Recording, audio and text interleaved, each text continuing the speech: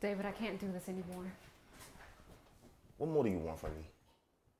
Shit, anything. You don't do shit. I don't do shit. No, you don't. Are you serious right now? Yes.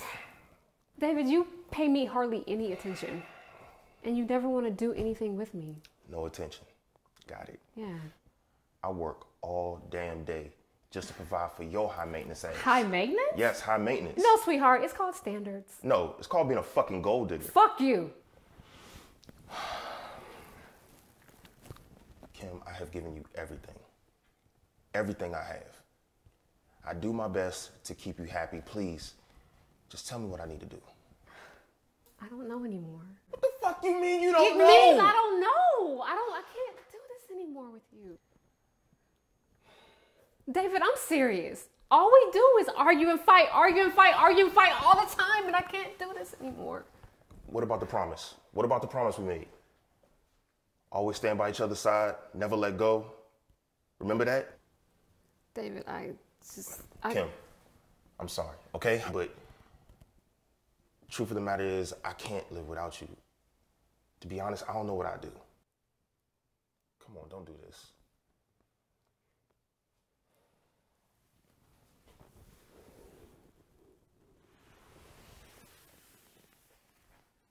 I can't do this anymore.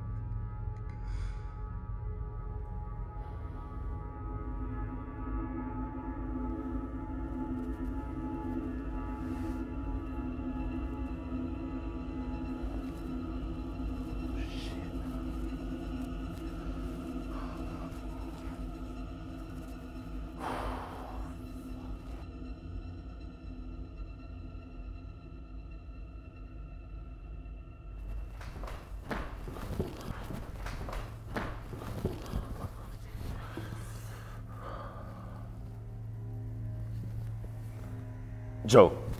Joe is me. Listen, man, I need your help.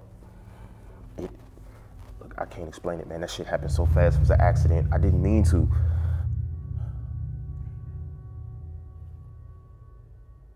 What the hell?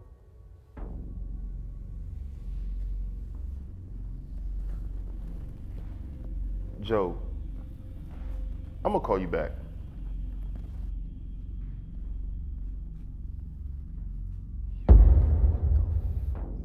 She was just, yo. You promised. You promised Kim? that we'll always be together. I'm sorry, I, I, I just lost control. It's not your fault. It's okay. I just don't want to lose you. And you never will. Come to me. Thank you.